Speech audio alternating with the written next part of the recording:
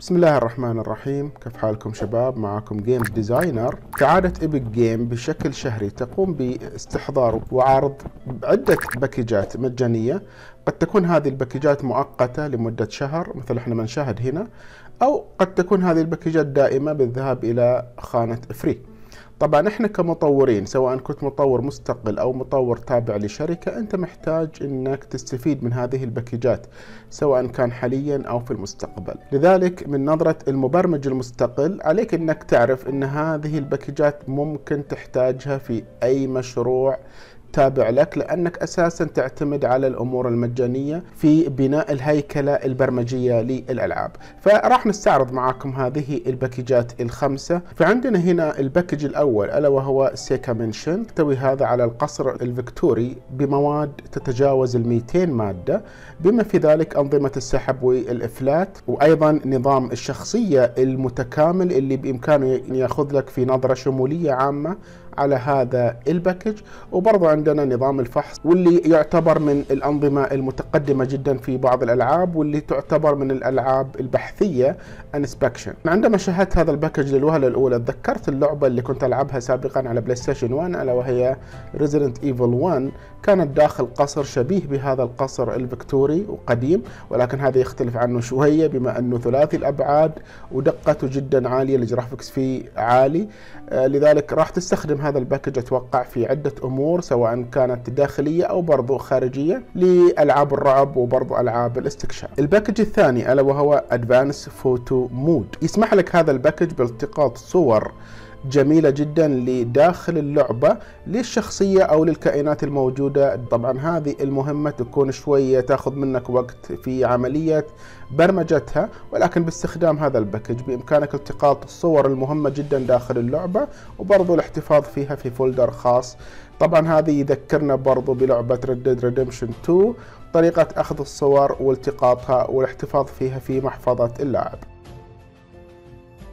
ال package الثالث ألا وهو Blink and Dash VFX طبعا هذا ال package جميل جدا بحيث إنه يحتوي على مؤثرات خاصة يتم استخدامها لتسارع اللاعب وبرضه يتم استخدامها في حاله استخدام اللاعب للضرب بالسيوف أو الحماية من قبل الدروع. هذا ال package حيوفر عليك جهد كبير جدا في عملية برمجة المؤثرات الخاصة لتسارع اللاعب بما في ذلك بعض المؤثرات الجانبية اللي راح تستفيد منها أكيد في مسألة بناء الشخصية وبناء المؤثر الخاص للشخصية اللي راح يعطيها بعد خاص في نظرة اللاعب. هذا ال package من الجمالية اللي فيه برضو إنك تقدر تستخدمه بعدة منصات من ضمنها الحاسب الآلي ومن ضمنها الجوال ومن ضمنها برضو أجهزة ال Mac. لذلك خذ حريتك باستخدام هذا ال package في عدة نطاقات ال package الرابع ألا وهو Low Poly Viking World عالم ال Low Poly كثير نلاقي مثل هذه الباكجات المتميزة متميزة اللي حقيقة تحتوي على عدة أمور جانبية وجميلة جدا.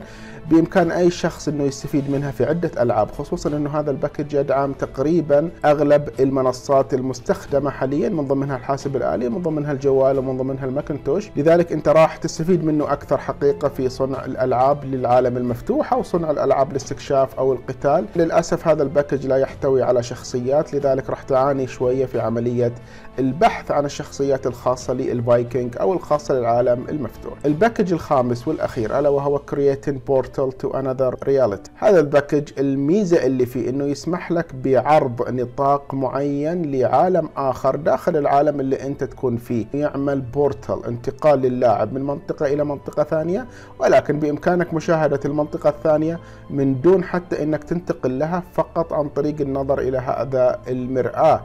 اللي تعتبر واجهة حقيقية للعوالم الثانية اللي بإمكانك تصنعها داخل اللعبة. حتى هنا استعرضنا معاكم الباكجات الخمسة اللي نزلت لهذا الشهر وأرجع وأكد أن هذه فقط مدتها شهر واحد أو أقل من شهر. لذلك اغتنم الفرصة وقوم بتحميلها عندك وتثبيتها في المكتبة من دون ما تقوم بإضافتها إلى الإنجن حتى لا تحمل حجم وتسبب لك أزمة في مسألة استهلاك المساحة في ال hard disk فأفضل حل أنك تقوم بعمل add to cart وبعد الانتهاء حتروح إلى السلة هنا. لاحظوا أنه سعر الباكجات الخمسة يتجاوز الألف ريال 273 دولار. مهم جدا أنك تحصل عليها حتى لا ترجع مالية وتندم على أنك ما استحوذت على هذه الباكجات.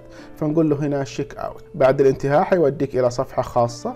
هذه الصفحة لعملية الشراء. وإنت هنا مخصوم منك القيمة الإجمالية لهذه الباكجات لذلك ما راح تدفع فلس واحد.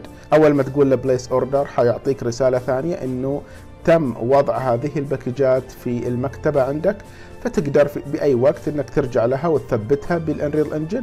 أو إنك تلغيها من ال Unreal Engine وراح تكون موجودة بالمكتبة سواء ثبتها أو لم تثبتها. هذا كل شيء لهذا اليوم، أتمنى تكون هذه الباكجات نالت اعجابكم وأتمنى حقيقة أنكم تستفيدون منها خصوصا إن مدتها فقط شهر واحد فحتى لا ترجع مالية قم بتثبيتها وقوم بالاستفادة منها ووضعها في المكتبة لحين الحاجة لها. أشوفكم على خير معكم Games Designer مع السلامة.